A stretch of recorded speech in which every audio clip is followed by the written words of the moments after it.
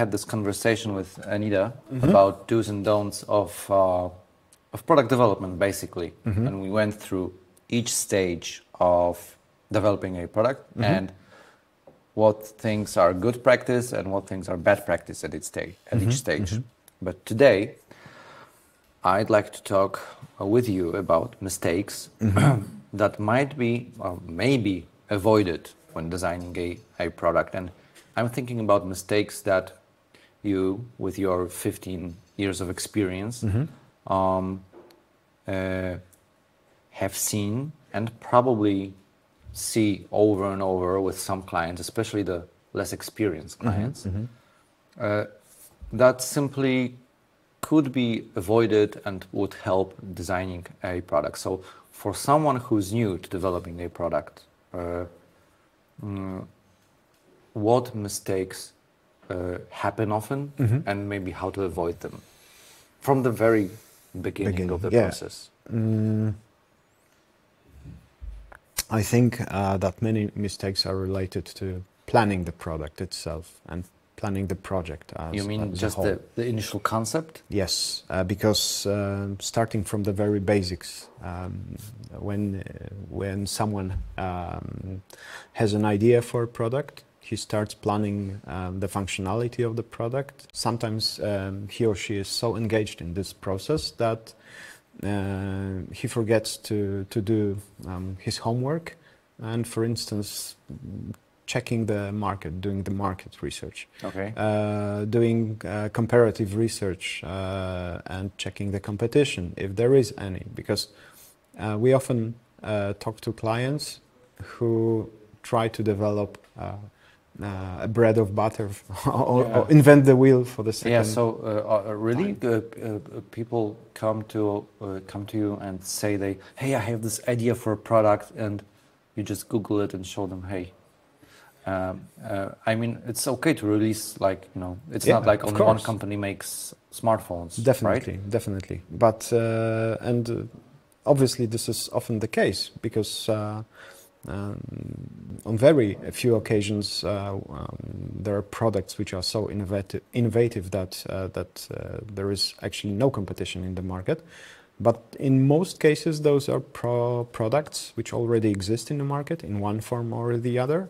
Uh, but um, very often, a client is uh, so focused on his project, or uh, or this this is going to be this is going to be so exceptional that he or she forgets to, okay. to check if uh, there is indeed something like this already exists and maybe it's not the best idea to develop this. okay mm-hmm. okay and uh, so not only doing the research in terms of um, well comparative research but doing the research around the project itself mm-hmm. so as i said doing market research checking uh, doing maybe uh, market analysis uh, whether um, there is actual need for such product, whether um, there are customers or whether there is a market for such product. Because we've had cases where the product was so ahead of its time that uh, at, uh, when the product was ready, our clients had really a very serious problem of proper properly marketing uh, their product uh, okay. because uh, it was so ahead of its time, and uh, uh, people had hard times understanding uh, the functionality or, or okay. the potential okay. of, of, the of the product. Uh, so. That's that, that's also a big problem with uh, digital products, I believe. Like yes. the, the, world of startups is full of uh, products solving problems that don't need solving or don't exist. Yeah. on a bigger scale. First world. Yeah, first world problems, so called. Yeah. True. So I would say that another uh, mistake or maybe uh, yeah mistake when planning a product is um, thinking or overthinking the functionality of the pro product. Mm. because uh, mm, sometimes of course uh, we know this very well. You want uh, your product to be best of the best. And you want uh, you want your product to stand out from the rest which is in the market. Mm -hmm. Uh, but um, very often, the, mm, let's say there, is, there are functionality which you can categorize as uh, absolutely uh, required or Mhm. must have, let's say, or but there is also something which can be optional Okay. or which should be optional. So don't force the optional things into the f- first version of the product, or maybe think about the functionality that you can get rid of because. Uh, it may happen that developing such functionality uh, would um, well uh, influence uh, the time frame of, of Mm. developing the product itself and of course if it takes longer then it, it is more expensive to introduce as well I don't know why, but uh, uh, uh, another comparison to the uh, uh, digital world comes Mhm. to mind when uh, you have uh, a product launch and there's uh, it's usually called, for example, version 1.0, and then you have version 2.0, 3.0, or 1.2, 1, 1.5. So what you're saying is, don't start with version 5.0 or something like that. So- Start with the basic first iteration. we call this uh, curse of uh, 2.0 version Curse of 2.0. Yeah. yeah. that's that sounds like it. Uh, Yeah, a good description.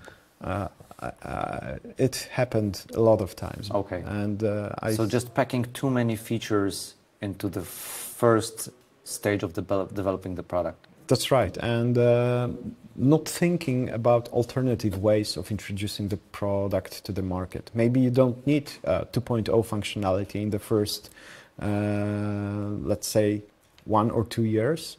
Maybe it's good to think about a scenario where a product is developed with its basic functionality and it, it already can start generating some revenue. So it's sort of like a more of a down to earth approach to the business of the Yes, product itself. yes. So maybe first go try to talk with other business owners in this or a similar industry and see how the product's life cycle looks because probably Yes. the version 2.0 is not something that you decide on but something that's built on your users feedback so coming up with it before you have any users That's is right. not necessarily the best idea Uh, yeah, and um developing um, highly uh, complicated product, uh, I don't know, versus developing a, a basic functionality uh, product, it may be it may take twice the time needed for introducing this product to the market in its basic form. And imagine that uh, working um, well. You imagine a situation where when you are developing a product for I don't know two or three years, and um, you're delivering the 2.0 version, which is already obsolete because, uh, well, uh, the competition was uh, developing something uh, iterationally, or uh, Yeah. they, they tried to introduce different variants of the same product. Well, And sometimes being first to market is very important. that's right. And uh, so maybe I'm not saying it's always uh, a good practice because certain pro- products simply require Yeah. um, complex functionality. But uh, well, take this into account when planning um, um, the actual functionality Sure. and uh, think about what is the critical functionality and what might be the optional functionality. Yeah, Mhm. of course. Well, uh, uh, I assume everything we will be talking about and are talking about, Mm-hmm. we need to generalize a bit, right? So there Yeah. were sometimes, or maybe even always, there, there will be exceptions or specific industries or types of products where those uh, mistakes you have uh, seen clients make uh, simply won't apply. Mm-hmm. So I, I, I have in mind uh, one of the projects that we uh, worked on, and uh, it was a project which was kickstarted, Mhm. and uh, it was kickstarted and uh, advertised as um, well fully fully fun- functional uh, device which our client uh, came to us uh, with. It was a litter box for cats, and um, the initial functionality was really uh, wow. Um, it was a dream come true for a cat owner, Yeah, and um, of course the development the development process took uh, took some time, and um, what changed was actually uh, well the market changed in the in the meantime. So by the time that the product was ready to to go for tooling and to start ordering the parts for the for the hardware, it turned out that um, the prices of the components went up so high okay. from uh, uh, from in, comparison to to, to to the situation in the market a couple of years ago Mhm.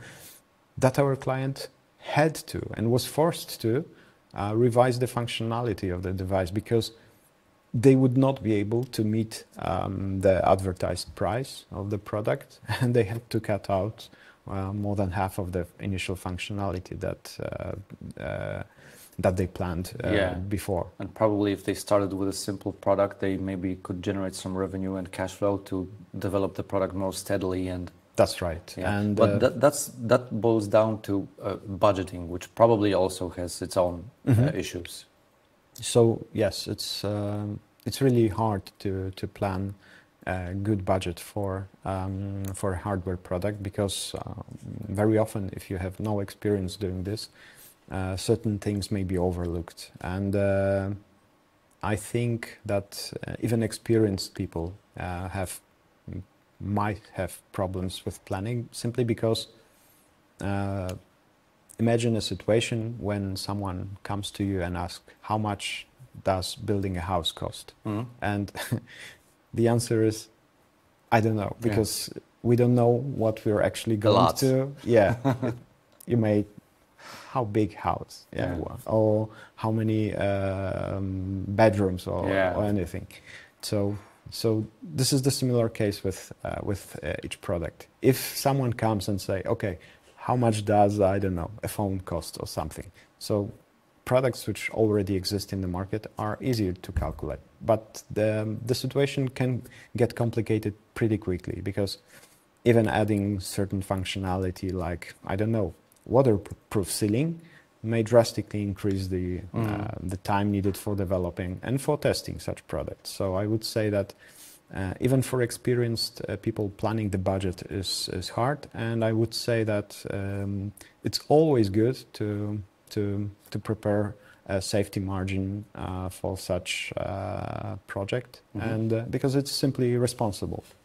Uh, it's wishful thinking uh, to to assume a certain budget, and uh, mm, don't and not anticipating uh, problems along the way uh, during the development process. Yeah. So, uh, and developing the product is one thing. You need to, of course, consider after you develop it, you still need to manufacture it, Yes. market it, uh, get it to the stores or wherever. So there's a whole other side to budgeting. That's right, because uh, this is only half of the story. Developing the product is, um, I don't know, may take uh, 100,000 US dollars, and then uh, tooling for this uh, project might cost 10,000 more, uh, sorry, 10 times uh, this Yeah. amount. And you still have to keep in mind that you need to, um, well, let the world know about Keep your the product. production line going. You need to market it. Yeah. That's right. So, of course, uh, introducing a product uh, or, or planning the budget is not just planning the development budget. Yeah, but pr- someone who probably uh, plans for such a product m- must have some experience. Mm-hmm. Uh, uh, it's impossible, I think, to start with such a big project uh, Mhm. when it's your first product. Probably in these times, like you've mentioned before, Mhm. people who are developing their first product are looking for to to, to crowdfund uh, the production or maybe look for investors before going to mass production. Mhm. Uh, so, so that's a whole different story. Uh, from my experience, when budgeting is a uh, problem, Mhm. you might say, then usually um, timing also is like any sorts of deadlines or planning a time schedule for Yes. project release. So I think um, the biggest issue uh, with um, with the time uh, planning is actually not anticipating that certain types of products might require um, various prototyping and uh, various iteration of, development. And especially, I'm thinking of, um, about products which are mechanically complicated, Mhm. um, which um, would indeed require um, certain technology to, to in order to prototype uh, a specific solution to test it, because um, designing is just part of the process, and then testing and reviewing uh, the thing that you designed is uh, is another process. And I remember talking to a client once uh, when we gave them a time frame just for a revision stage, Mhm. and they were surprised why uh, why it, um, why we anticipated that a single revision for a relatively small product might take about eight weeks. Yeah. And there was actually only one week of our work, and the, the remaining weeks were simply time needed for prototyping and for uh, preparing a documentation for uh, manufacturing the prototype, and then assembling the product, and then doing tests. And uh, well, thinking about uh, what, uh, whether analyzing the test Mhm. results and thinking about the, planning the next revision. Yeah. So um, the actual scope, uh, the actual designing work was relatively short, but uh, the client did not anticipate that the tests needed, uh, the feedback uh, from the pr- prototype testing is something that also uh, requires time. Yeah. So probably, uh, my guess would be, uh, if I were thinking about developing a product Mhm. and I would want to contact a, a company like ours, I Mhm. think the first thing I would do is just call them and say, hey, I'm thinking about a product, but I- I'm not yet ready to come to you with a brief, Mhm. but I would like to know about the process and how it Mhm. looks and what I actually should be preparing for. Mhm. Do you think, uh, not, not, not in terms of consulting or workshops, but just even a 10 minute talk about what you just said could Mhm. probably save me a lot of thinking and a lot of bad planning. Yes. Uh, right? hmm And even some people who have no experience in introducing any types of products uh, in, in the market uh, might simply not be aware of uh, of the uh, of different stages related to, to introducing a product um, to the market. Uh, Im- imagine, uh, well, people often often imagine that uh, once um, uh, the uh, manufacturing documentation is ready, they can Mhm. already start manufacturing, and Yeah. this is just a matter of months before. I just place an order. Yes. Yeah. Yeah. And no, it's not. And uh, we often discuss it with our clients. If if you plan for, I don't know, uh, executing uh, tooling for mass production or plastic injection, then we had a case where one of our clients was looking for a manufacturer for over three months. And then it took them another six months to negotiate the deal uh, Yeah. with the manufacturer. So that was nine months of actually Of just talking Of- with the manufacturer. that's right. And I have numerous examples of projects which we finished, I don't know, five years ago or, or six years ago. And it took, uh, I don't know, another three or four years before they actually hit the shelves because the manufacturing process was either so complicated or there were uh, issues related with, uh, with unforeseen um, events which took place uh, Yeah. along the way. Mhm. Well, that, that that's like, mm, it seems weird. Uh, maybe well, maybe not weird, Mhm. but it's interesting Mhm. that sometimes a design that you make Mhm.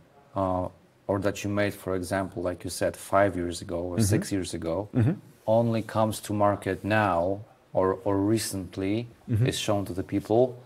And uh, like one of our clients, uh, for example, uh, you get a, uh, an award for, Mhm. for, a, for the design, like we received the Red Dot Award or the IF Award for a design that we made five or six years ago. Yes, yes, and uh, that was a medical product, and uh, again, uh, the manufacturing process was very complicated. Uh, but the issue that influenced uh, the well, that caused the actual delay was um, uh, actually selecting the manufacturer, which turned out to be uh, very unprofessional, and uh, the first the first tooling was botched, totally Mhm. botched, and Okay. The actual t- uh, tooling manufacturing process has to be had to be restarted with a new company. So that caused a terrible delay in this project. And moreover, once the product was ready, that was a medical device which Mhm. which required uh, testing uh, and uh, required uh, certain certifications to to be uh, to be delivered before actually. Uh, the product was uh, Allowed to the market, That's yeah. right. Be- before the product was allowed to the market, and that was also something which uh, which caused uh, another delay. And uh, yes, it's very hard to, to plan just um, or, or, even well draft um, a, a, good and reliable time frame because you need to take um, various risk factors uh, which are not always known. But uh, even talking to us as, as people who, who participated in various projects and uh, who participated also in the manufacturing process with our and assisted our clients during um, during the manufacturing. Uh, we do have certain ideas wh- uh, whether um, the, the let's say showstoppers uh, along the way um, uh, when it is good to plan to, to add more time to the mm. to the actual uh, plan that might be that has to be presented to I don't know to board members or something. So it's always it's always good to ask someone who already um, uh, went uh, through it. Went through it. That's right, and uh, and has uh, more experience uh, and perhaps can uh, um, I don't know indicate some other areas that have to be um, well taken into account. it sounds to me like when introducing a new product, whatever time schedule you're planning, make it longer. Yes. uh, okay. Um, I, I, think to some extent, that's the reason we do this whole podcast. It's mm-hmm. because we talk about these things, like you said, problems with manufacturers, with mm-hmm. uh, uh, with the, the development process. A lot of the stuff that you are mentioning are also mentioned in, in other uh, talks we have here, mm-hmm. and they could help people who plan on introducing a new product really um, have a more successful and at the same time less stressful experience. Definitely so, because hardware is hard. hardware is hard. Yeah, I like I like that. Yeah, and uh, it's a fact. And uh, if anyone claims otherwise, um, he has not developed uh, any product. Yeah. Uh, yeah. Okay. Well, unless you have really uh, experienced team all over, uh, um, I don't know, in, inside uh, your company and uh, mm, which is experienced in all uh, various stages of the process. Mm-hmm. So develop, development, manufacturing, um, certification, all kind of things.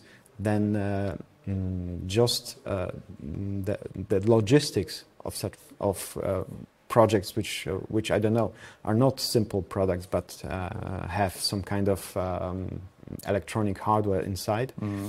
Is complicated, and uh, this is this is the reason why um, the budgets for uh, developing uh, products are not small. Yeah, and uh, I think part of our, let's say, mission is also to educate people, to give them a better insight into um, what the actual um, development process looks like. Mm-hmm. Because uh, very often, uh, when a client, uh, a less experienced client, comes to us, he has um, a vague idea on, on what the actual process looks like. He has certain expectations, mm, maybe. I don't know, a blurred vision of what it might look like, but the actual uh, process is often very uh, much more complicated yeah. than, than, uh, than the initial ideas. And we've had many discussions uh, after um, finished products with our clients who, who claim, oh man, if I, if I knew, if I only knew yeah, it would be so I, complicated. Yeah, if I knew then what I know now. Yes. Um, you you mentioned uh, I I love the the phrase that hardware is hard, but mm-hmm. that's why during developing uh, physical products, you need to rely on the prototyping process, right? Yes. I assume you could point out a few uh, common mistakes people make there also. So uh, Yes, certain types of products require uh, prototyping. Uh, prototyping is uh, is uh, is basically a key key component of uh, every design process. Uh, of course, if you design a single part, I don't know, a, a, metal plate that would be um, distancing something. This is the, the first prototype might be the last one, but yeah. but you have to test it uh, at a certain Still. stage of the product, yeah, uh, of, of the development uh, mm-hmm. of the mm-hmm. product, and uh, um, for more complicated products, uh, it's simply uh, you simply need to be aware that uh, multiple iterations of uh, of, uh, of prototype might be needed, and uh, I think this is also um, a part uh, which is overlooked by um, people who plan such projects because um, they are I- they either assume that less prototypes would be needed or they assume uh, or they reserve uh, too little money for the prototypes. Mm-hmm. And uh, it's very hard to to give a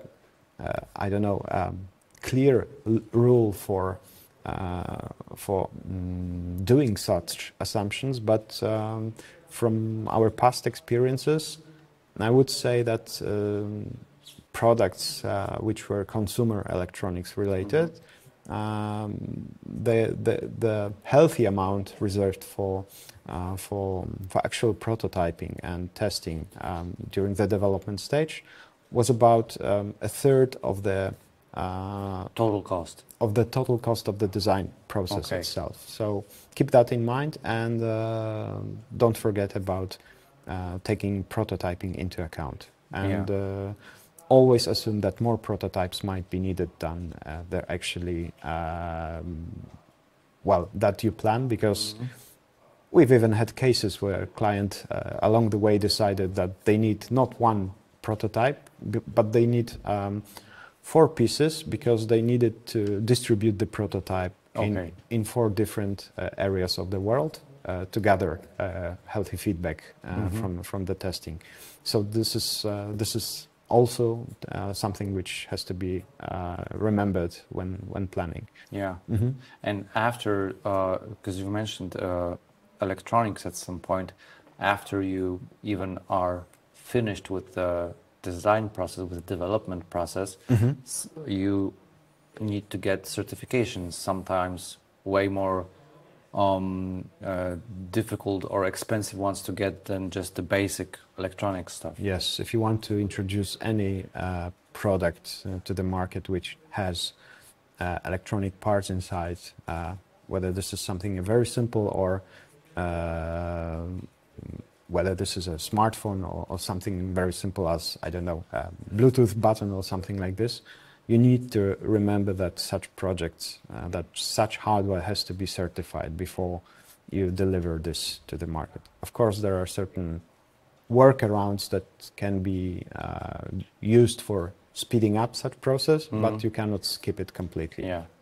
Um, I remember uh, uh, uh when talking with Anita about mm-hmm.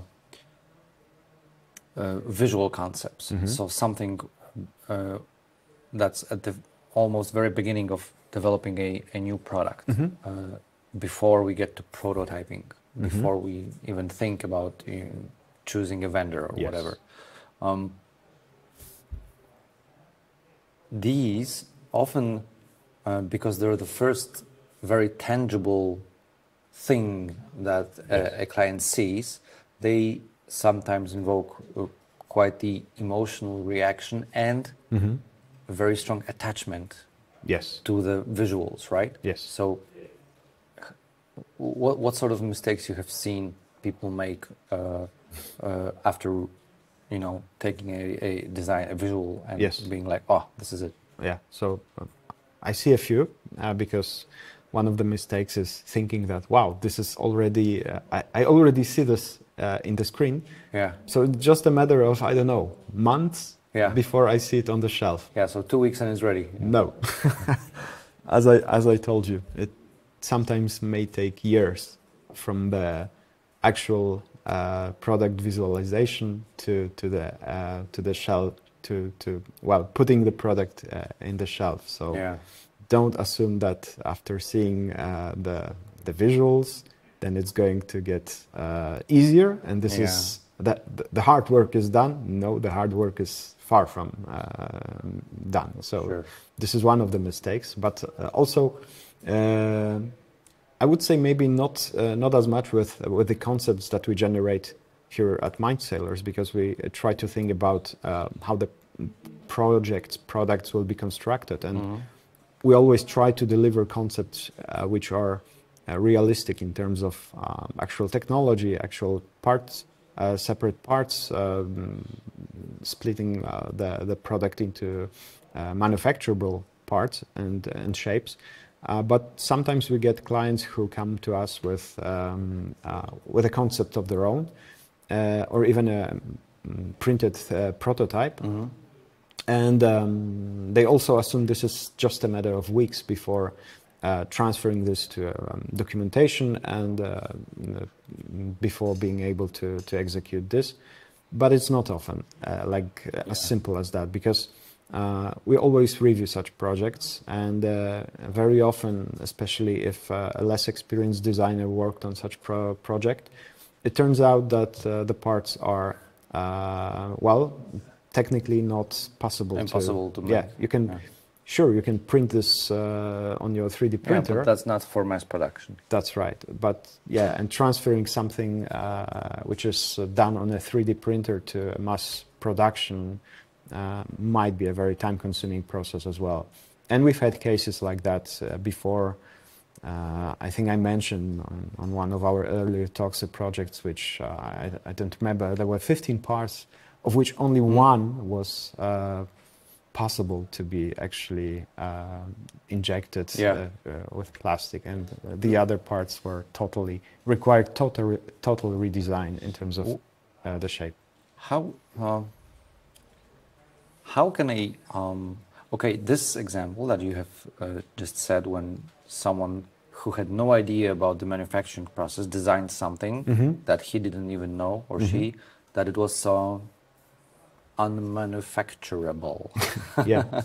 but uh, that's a mistake of a, a single person. Mm-hmm. But mm, when uh, the process of development can span over so many months or mm-hmm. years, uh, often many people mm-hmm. throughout the lifespan of the development process, mm-hmm. Mm-hmm. many people might be involved in it or leading it mm-hmm. or gathering feedback or, or, or whatever. I see yes. also that this probably is quite the source of some mistakes. Yes, because um, this could be class, uh, classified as um, communication problem because um, uh, in my experience, uh, the worst possible projects or the worst possible scenario in working on a project for a client is when there is no single person responsible for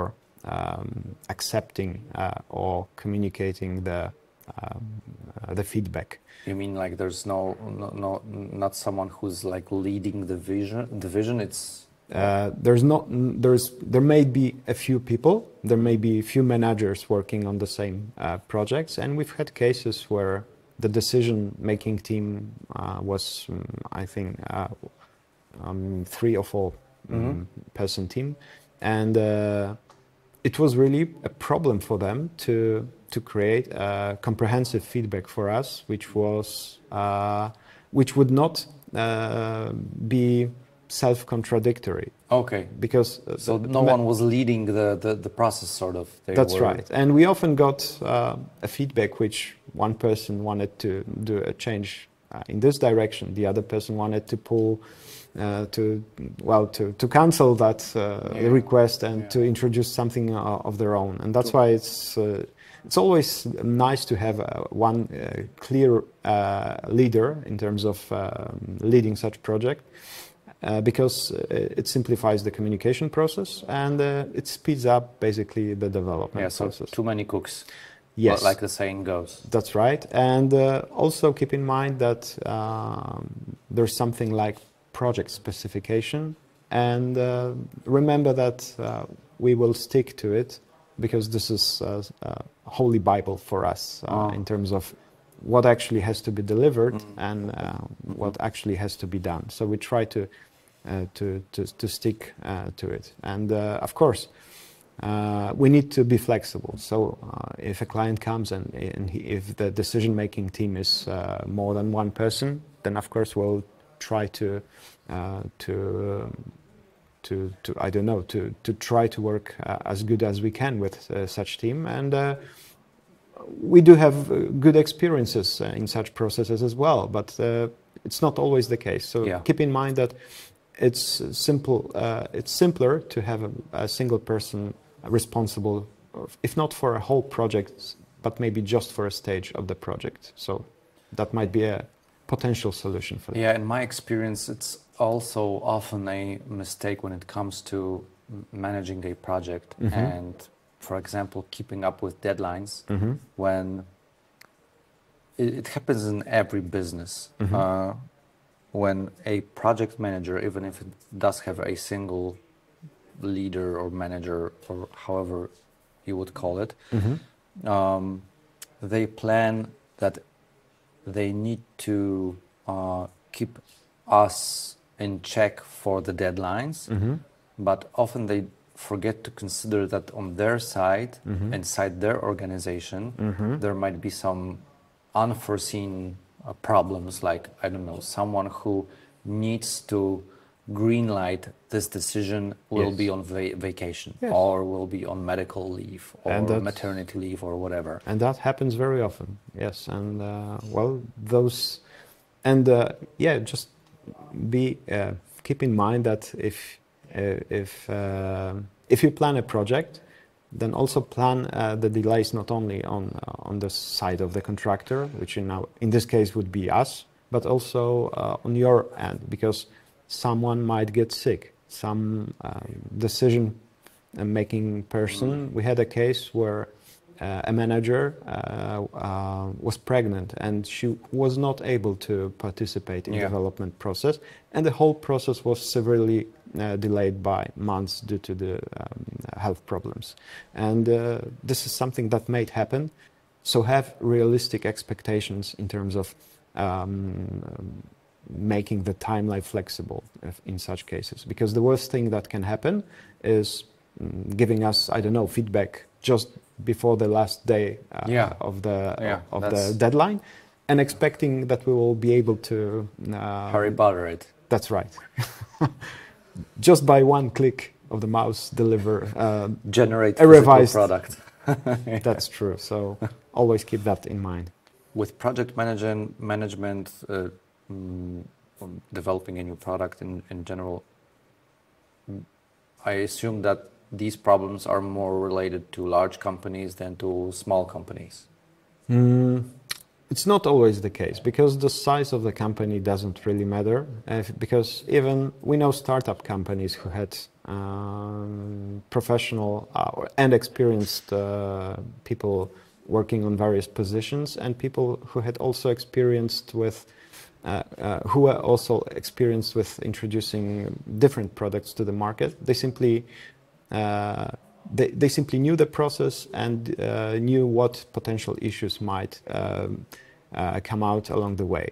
And on the other hand, we had large corporate customers who often lack uh, experience in certain areas. And uh, we also had cases where a project manager um, from a large company mm-hmm. uh, had literally no experience at all in, in hardware projects. Okay. And that was uh, something that we had to also be prepared for. So um, it's not always the size of the company, but it's people who, who basically uh, drive the company that mm. matters. Yeah, sure, mm-hmm. sure. Anything else comes to mind we, we could talk about? I think that we addressed most of the issues. Yeah, we covered uh, we covered quite a lot, right? Yeah. Um, to sum up, um, developing a product or researching the product is extremely complicated. Yes. And time consuming. Yes. And when something is complicated and time consuming, involves many people and many physical aspects, logistical aspects, you should be aware that there's a lot of preparation uh, need, needs to be in place simply to make a reasonable mm-hmm. and actionable plan yes. for the product development to be a success. So uh, there's a lot more to it than people with little experience might uh, expect. Mm-hmm. And probably before getting fixated on an idea for a product, it's best to maybe just call and consult Yes. uh, to um, see what you don't know. That's right. Don't uh, don't assume. Ask and do your homework. don't assume, ask, and do your homework. Yes. Yes, that's that's a good summary. Okay. yeah. Thank you for the talk, and Thanks. I, I hope to. Uh, we have another one in a minute. Yes. Thanks. Thanks for the talk.